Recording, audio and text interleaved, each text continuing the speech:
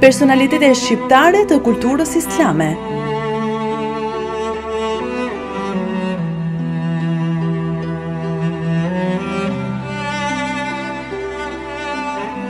Një cikël dokumentarësh mbi jetën dhe veprën e atdhetarëve dhe hoxhallarëve që kaluan një jetë në shërbim të kombit dhe fesë.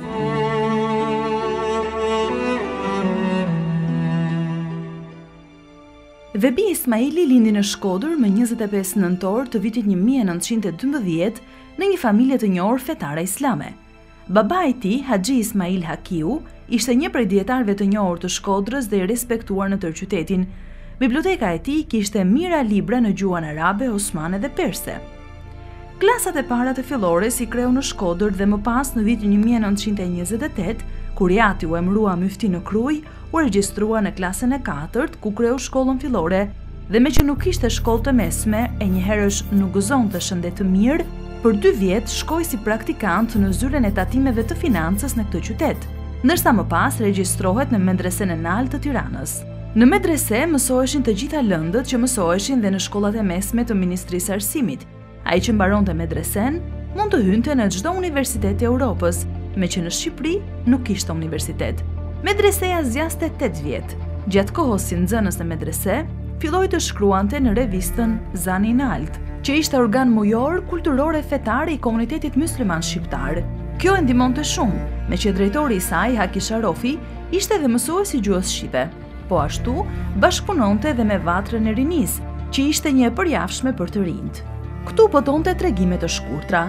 Pas kryerjes së shkollimit të mesëm, Imam Vehbi Ismaili kishte vendosur të shkonte në El Ez'her të Kajros për të shtuar horizontin e njohurive të tij. Kështu në vazhdim shohim se ai përshkruan jetën e tij në këtë periudhë. Kur mbaroi klasën e katërt, mori diplomën që thirrej semi matur. Me të mundej çdo nxënës të emërohej imam xhamie. Por, ky vendosi të shkonte dhe t'i plotësonte studimet fetare në Egjipt, meqë i ati atje kishte shumë miq, andaj dhe nuk pati vështirësi që të nxjerrë një bursë nga qeveria egjiptiane. Kështu që nga fundi i vitit një mijë e nëntëqind e tridhjetë e shtatë, bashkë me Thabit Kadukun, maturant i medresesë, shkuan në Kajro, Dhe pas një viti u regjistrua në Universitetin El Ez'her, Fakulteti Teologjisë. Në vitin 1945 merr diplomën nga fakulteti. Pikërisht ato ditë merr një letër shumë mallëngjyese nga vëllai i tij i vogël, Shefkiu, i cili shfaqte mallin që kishte për të dhe kërkonte që të kthehej në atdhe.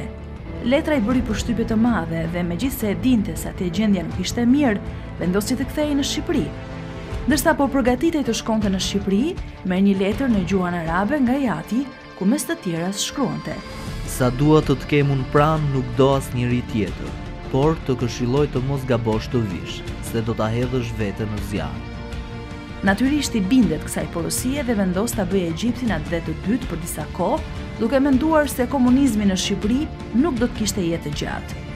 Vitet shkonin, gjendja në Shqipëri nuk po ndryshonte. Iu bë propozim formimi i familjes, me pasuri, që të gëzonte një jetë shumë të mirë materiale, por ai gjithnjë mendonte dhe ëndërronte të kthehej në Shqipëri, saqë e tërë pasuria e Egjiptit për të nuk kishte vlerë. Jeta e Imam Vehbi Ismailit pak a shumë i përngjan jetës së Fan Nolit, i cili po ashtu jetoi një kohë të shkurtër në Egjipt dhe nga Egjipti, me ftesë të komunitetit shqiptar, shkoi në Boston të Amerikës. Ja si e përshkruan Imam Vehbi Ismaili këtë pjesë të jetës së tij. Nga fundi i vitit një mijë e nëntëqind e dyzet e tetë, mora një letër nga Shoqëria Shqiptaro-Amerikane Myslimane në Detroit, Michigan të Shteteve të Bashkuara të Amerikës, me të cilën ftohesha të shkoja atje si udhëheqës i tyre fetar. Në fillim ngurrova, meqë do të largohesha më tepër nga atdheu, dhe njëherit në pikëpamje ekonomike isha mirë. Por shokët ma mbushën mendjen se do të kisha rast t'i shërbeja fesë dhe atdheut. Në prill të vitit një mijë e nëntëqind e dyzet e nëntë u nisa me anije, meqë kisha shumë libra, dhe nga fundi i këtij muaji arrita në Detroit. Shumica e shqiptarëve myslimanë në këtë qytet ishin nga Korça e Gjirokastra, që kishin ardhur para Luftës së Dytë Botërore për çështje ekonomike. Kishte edhe disa beqarë nga Vlora dhe Berati që nuk ishin martuar fare ose kishin familjet në Shqipëri. Këta, të gjithë më pritën shumë mirë, m'i hapën zemrat dhe shtëpitë e tyre, saqë e ndjeva veten sikur të isha në mes të familjes time. Të gjithë ishin njerëz të thjeshtë, por me dashuri të madhe për atdhe, njerëz të sinqertë. Fëmijët e tyre i kishin mësuar dhe edukuar me tradita shqiptare. Shumica e fëmijëve e flisin mirë shqipen. Një grup i vogël që atëherë numëroheshin në gishta, ishin refugjatë politikë që kishin ikur nga komunizmi. Shoqata Shqiptaro-Amerikane Myslimane nuk kishte lokal të vetin dhe as që kishte ndonjë të zënë me qera. Prandaj, puna e parë që bënë, zunë me qera disa dhoma në Institutin Ndërkombëtar që e përdornin për shërbime fetare, si klasë për të mësuar fenë dhe klasë për mësimin e shkrimit të gjuhës shqipe.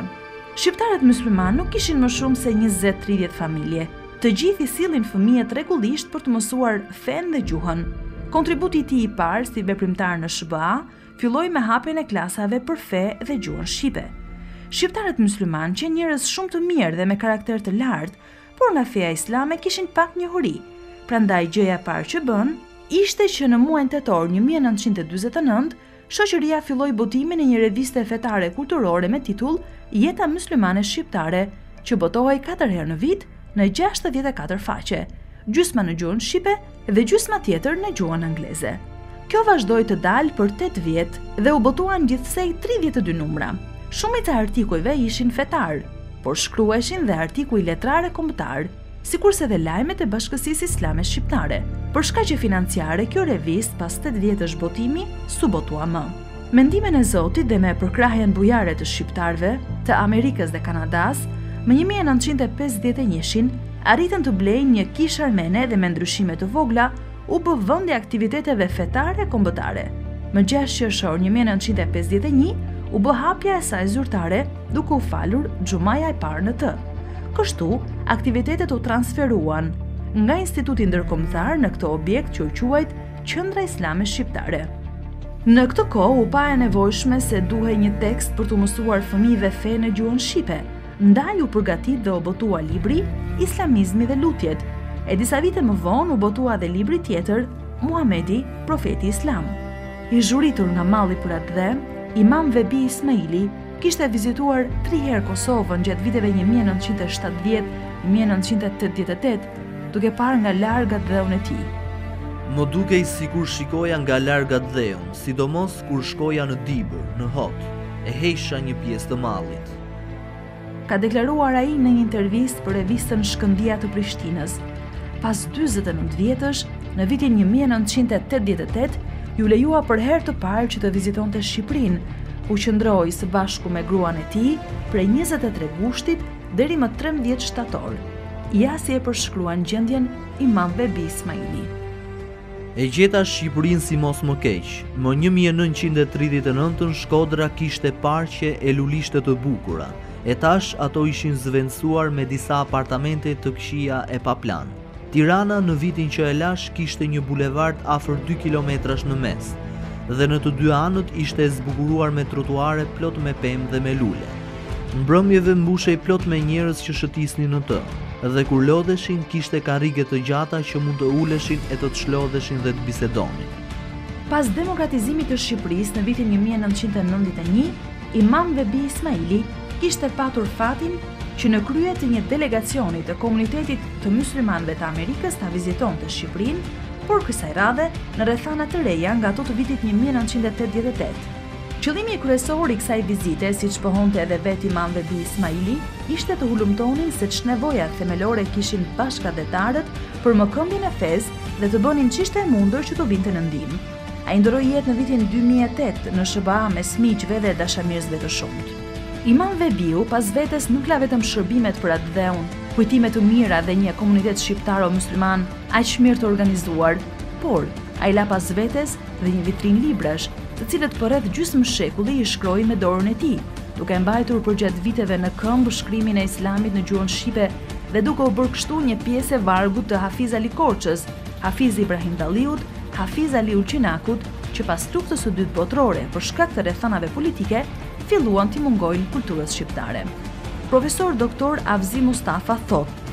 Imam Vehbi Ismaili është një emër i madh për islamologjinë shqiptare, jo vetëm për faktin se la pas vetes një tufë lulesh me vepra origjinale dhe disa të përkthyera, por ai aq më tepër meriton mirënjohje sepse në kohën kur në Shqipëri u ndalua zëri i teologjisë, e ndërsa në Kosovë e Maqedoni mezi dëgjohej diçka për kulturën islame në gjuhën shqipe, ai arriti që nga Amerika e largët të shpërthejë me zërin e tij plot energji studimi, për ta vazhduar kështu traditën e islamologjisë shqiptare dhe për ta mbajtur gjallë atë frymë që për arsye politike aq shumë po ndrydhej në trojet etnike shqiptare.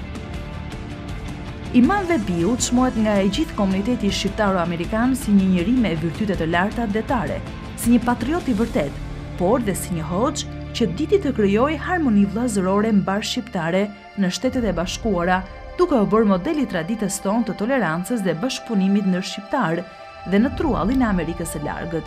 Ai la pas vetes dhjetra libra origjinalë, kryesisht libra mbi historinë islame, të cilën e kishte pasion të veçantë, por dhe mjaft libra të vlefshëm studimorë mbi fenë islame, por dhe libra me mësime fetare, hutbe, ligjërata e shkrime të tjera të kulturës islame. Ai po ashtu la pas vetes edhe disa libra të përkthyer, që kishte filluar t'i përkthejë që nga mosha e re, duke qenë nxënës i Medresesë së Tiranës e student i Kajros, e deri në ditët para se të ndahej nga kjo botë. Imam Vehbi Ismaili është dekoruar dhe nga ish-presidenti Bamir Topi, i cili dhe ai vetë, pati marrë dekoratën me çmimin Vehbi Ismaili, dhënë nga Qendra Islame Shqiptare e Shteteve të Bashkuara gjatë një vizite të tij në këtë qendër në vitin dy mijë e dhjetë.